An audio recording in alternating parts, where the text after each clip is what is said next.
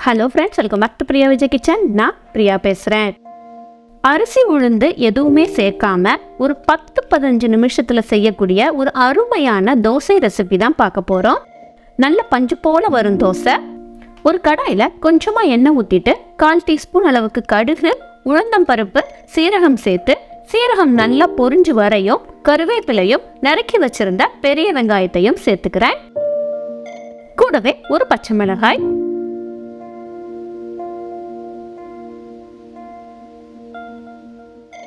வெங்காயம் நல்ல பொன்னிறமாகிற வரைக்கும் வதக்கி எடுத்துட்டு அதுக்கப்புறமா அதில் பெருங்காயத்தூள் சேர்த்துக்கிறேன்.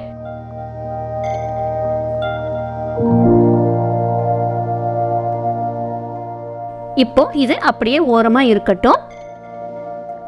அடுத்து ஒரு மிக்ஸி ஜாரில் ஒரு ஒரு கப் அளவுக்கு ரவை எடுத்திருக்கிறேன். வறுத்த ரவை வறுக்காத ரவை எந்த ரவை வேணாலும் நீங்கள் எடுத்துக்கலாம். கூடவே கால் கப் அளவுக்கு நல்ல கெட்டியான தயிர். உங்களுக்கு தோசை நல்லா புளிப்பாக வேணும் அப்படின்னு நினச்சிங்கன்னா நீங்கள் வந்து கொஞ்சம் புளிப்பான தயிர் கூட நீங்கள் சேர்த்துக்கலாம்.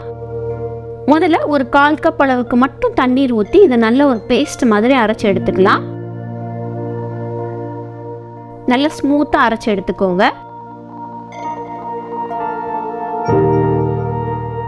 இப்போ ஒரு பவுலில் அரைச்சதை அப்படியே சேர்த்துடலாம்.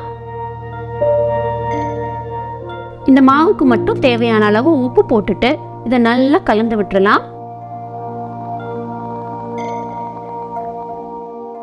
மாவோட கன்சிஸ்டன்சி இந்த பதத்தில் இருக்கணும்.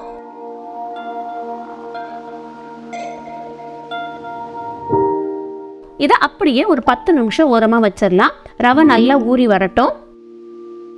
அதுக்கப்புறமா நம்ம வதக்கி வச்சிருந்த வெங்காயத்தை இதில் சேர்த்துடலாம். நல்லா கலந்து விட்டுட்டு ஒரு கால் டீஸ்பூன் அளவுக்கு பேக்கிங் சோடா அதாவது சமையல் சோடா ஆப்ப சோடா சேர்த்துக்கலாம். இதை நல்லா கலந்து விட்டோடனே உங்களுக்கு மாவு வந்து நல்லா பொங்கி வர ஆரம்பிச்சிரும்.